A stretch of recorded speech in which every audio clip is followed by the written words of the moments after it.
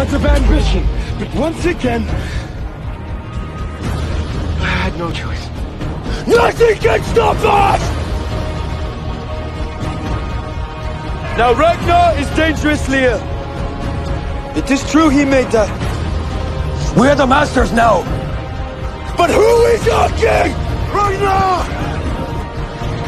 And to who do we owe our allegiance? Ragnar! I am your leader, and I just left.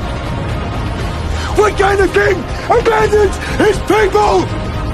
Nobody here understands what you're saying, King Ragnar. Do you know how this works?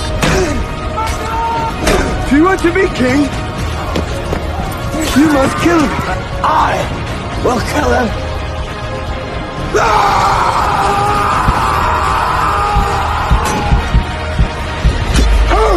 Who wants to be king?